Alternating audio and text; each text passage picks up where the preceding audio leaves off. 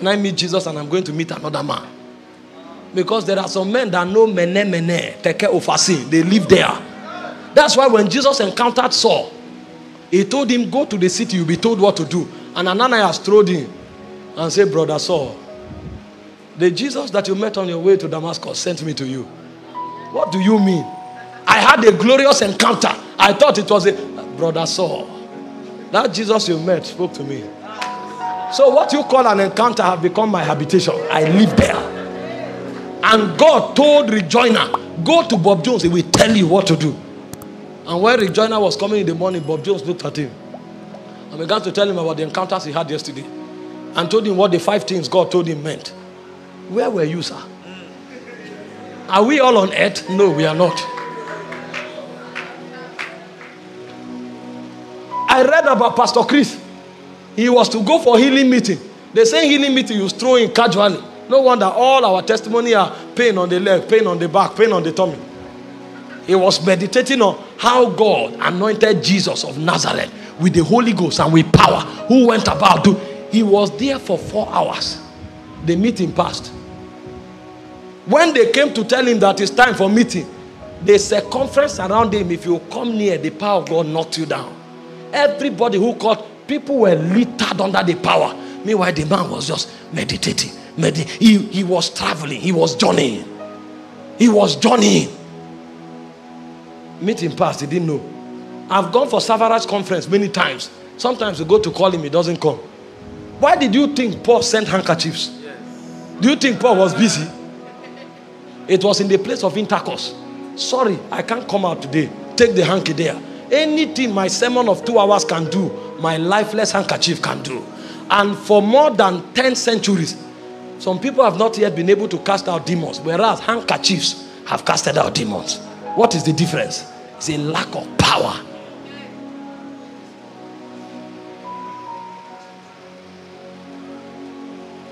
Yahweh, Yahweh.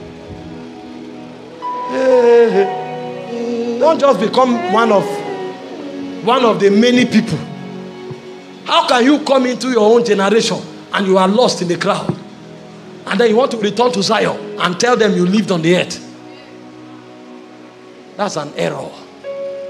That's an error. But what will distinguish you is the level of authority that you carry. And the way to authority is encounter with the Lord. Kill yourself on that mountain until the word of God comes alive, or the Lord appears to you, or something happens. You will not go back. Don't be a theologian. There are too many of them. Yahweh, Yahweh.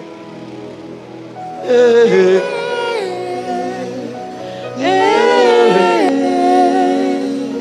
The second thing that makes for spiritual power is the move of the spirit.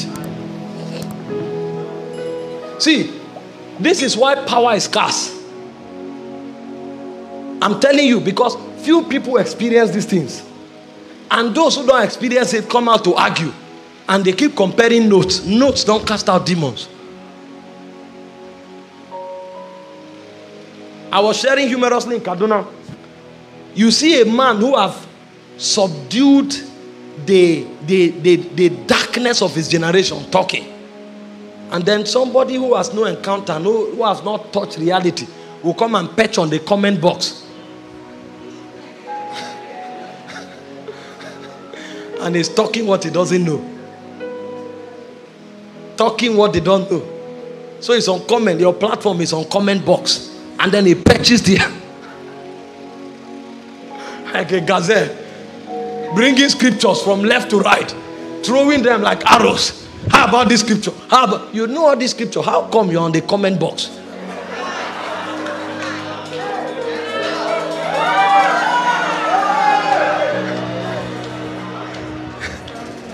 Before you know, some of them will take laptop and type four pages.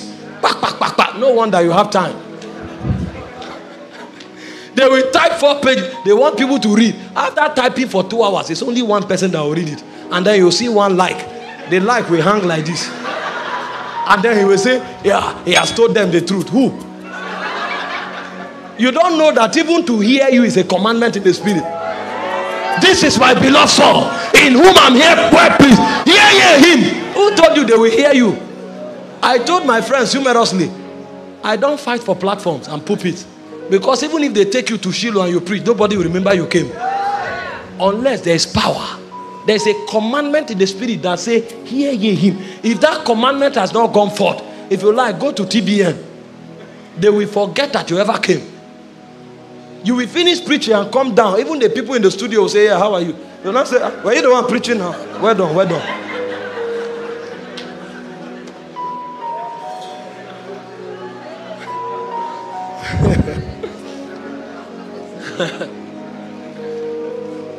Don't join the bandwagon. Labor in the spirit. It's an honorable thing. The Bible said the glory of the Lord is to conceal a matter. He said, but the honor of kings is to search out the matter. Said the Christians in Berea were more noble than those in Thessalonica because when they heard the word, they went to search to see if the things said were so. Some people tell you you don't need encounter, just meditate. You are joking. Those who have it know. They can tell you every spot that there was a shift in their life because it is never by coincidence, it's definite and deliberate. They will tell you when the slain anointing came on them. They will tell you when the anointing to pack crowds and overflow came on them. They will tell you when the anointing to heal the sick. It is definite, it's not coincidental.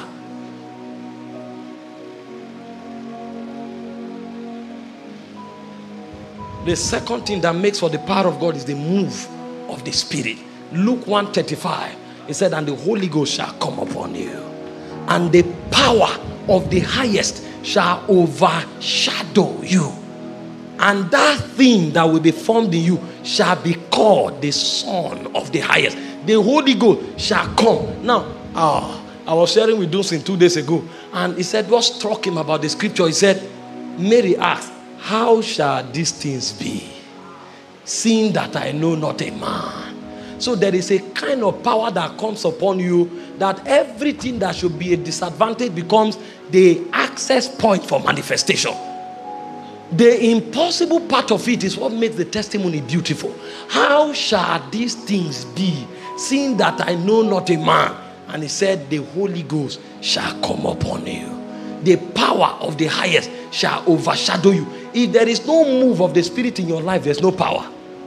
Everybody that commands authority in the kingdom is a man flooded with the move of the Spirit. This is not psychology, this is not emotional, it's a definite reality. The move of the Spirit in their soul is strong. And the move of the Spirit is not a feeling. Yes, yes. Sir, it's not a feeling. It's not a feeling.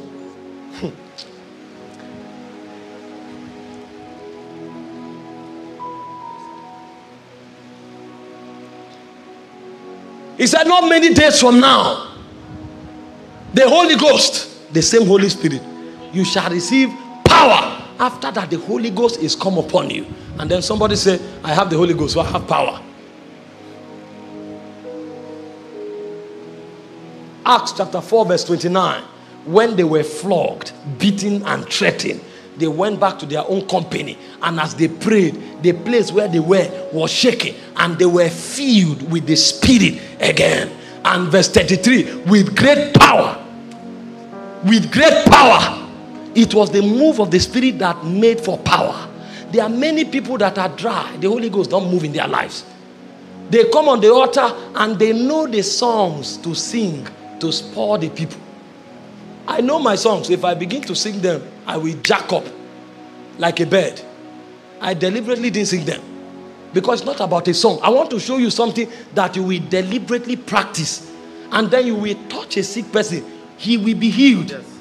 It's not psychology. Yes, yes, you will speak over something, it will happen. It's not psychology because there will be authority on your lips.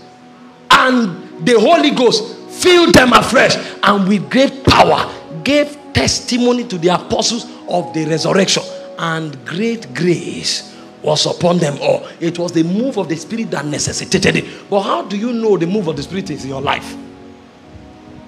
There is a definite indicator for the move of the Spirit. The indicator that the move of the Spirit is in a man's life is not that he prays loud. It's not that when he carries the microphone, he's thundering like thunder. No. The indicator that the move of the Spirit is strong upon a man's life is not that he's charismatic, it is an organic thing. A man that God is moving upon, sustain one thing, is called hunger. There is hunger for the presence of God. The day the hunger for the presence begins to die, the move of the Spirit is beginning to wane. And the things you could command before, you will be shocked. You will try it, it will not happen. For most of us who are preachers, we are most we are at a most risky place on this subject because you keep dispensing. You keep dispensing. You I told my brother, I'm not supposed to be here. I came here on the basis of relationship. Up until yesterday, I was lying down helpless. I say, Lord, Lord, I'm strengthened with might by your spirit in the inner man. I should be recovering. I can't even feel myself. But there is a truth I need to release into your hands. And that's why I came.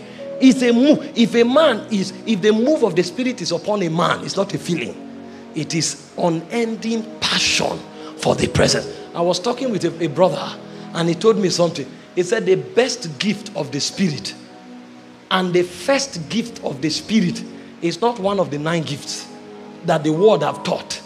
He said, The Bible said in First Peter 2, verse 2, as newborn babes desire, desire the sincere meek. The word there is desire. The ability to continually hunger for God and for his things. That's the best gift a spirit can give to you. If a man constantly desires God, he doesn't even need to go around preaching. He can kneel in his room and he can provoke revival over eternity because he's talking. Did you not read? When Jesus came, who provoked the revival? It was Simeon and Anna. They were not part of the preachers of their generation. They were just in the synagogue praying. And the moment they brought Jesus to the temple, the Bible says Simeon moved by the Spirit. The Holy Ghost himself went to meet him. He said, This thing you have interceded for has come. So you come and announce it. The guy was not a preacher. Nobody knew him, but he could not leave the presence of God. The men that shake territories are not necessarily the ones that travel about. The men that shake territories are the men that will never back off from the presence. There is something that keeps them there. In John chapter 2, verse 17, he said, The zeal of my father's house. The zeal. It's not zeal for preaching. It's not zeal for miracle. He said, The zeal of my father's house has consumed me. Jesus will leave a crusade and go to the mountain, and he will be there from night till morning. How come he's never tired? There was an energy on his inside that pulls him to God perpetually. And David knew it firsthand. He knew it. He said, As the deer panted, as the deer panted as the deer panted. You look at David, he fought 44 battles, he won. You think it's about bows and arrow. He has nothing to do. He said, As the deer panted after the Lord, so my soul longed after thee in a dry and in a thirsty land where no waters is. At some point, he said, Even while I am on my bed, thy thoughts and thy words are the meditations of my heart. That's a warrior. So the power that David used to fight war was not skill, it was hunger. When God wanted to punish David, he said, You can do anything to me, but take not thy spirit from within me. I can afford to lose the throne. I can afford to lose everything, but your presence never, never, never. And so long as David sought after the Lord, the hand of God was perpetually upon him. Every time a man begins to seek the presence of God, he begins to unlock the heavens. He begins to unlock the heaven. This is the secret of Elijah. Many people thought Elijah was just powerful because he was a man of faith. Elijah was more a man of intimacy than a man of faith because everything you see Elijah does, he does it from the place of intimacy. He told the king, Put your house together, there will be an abundance of rain. And then you think he declares and he goes to it. And he went to the mountain and knelt down seven times. Mana, kada, mana, kada. Until he said, Go and check Go and check. So he knew to unlock the heavens, you do it on your knee. And as he was groaning there, at the seventh time, the servant came and said, I saw something that looked like the feast of a man. So Elijah created that feast in the cloud. The feast was nowhere. He created it because he knows the secret of power. When Jesus was about to begin ministry, it was the season of temptation for him. The Bible said the Spirit led him into the wilderness to be tempted of the devil. But when Jesus went there, he changed his season he was engaging God because before the devil came, he went 40 days and 40 nights in prayer and fasting. When the devil came, that was a walkover. What Jesus did on that mountain, that was supposed to be a season of temptation, became a season of announcing and affecting his word. But how did he do it? By engaging God, by pressing into God. And as he was groaning there, the writings of the Spirit began to change we say, Come to the mountain to be tempted. But because of what you are doing now, it will no longer be temptation, that it might be fulfilled, which was spoken by Isaiah the prophet. The land of Zebulun, the land of Naphtali, by the way of the sea beyond Jordan, Galilee of the Gentile. The people that sat in darkness have seen a great light. And he stepped down from the mountain, and his fame went abroad. The power to cause change is resident upon hunger. How much of it do you carry? How much of it? There are many Christians that are dry. Even when they are in church, they are already tired. One hour in church, they are frustrated. And then they are sleeping. They think they are tired. They are not. There is no capacity for the move of God. So the moment they step out, they were dozing in church. But as they enter the road immediately, they become agile. Because the God of this world still has a place in their heart. So no matter how tired they were in church, when they step out and they begin to interact with the one they have intimacy with on the internet, on the television, with their friends, they come alive. Hunger for the presence of God. These are ancient realities, but they are no longer taught. I read the story of Brother Lawrence, and God told him that a servant in the kingdom of God is more important than a general. Because a servant is always there to attend to his voice. Some generals are giving away to commanding. So they are too used to the battlefield that they forget the sounds of Zion. They never return. They never return. They are obsessed with commanding the army and they forget.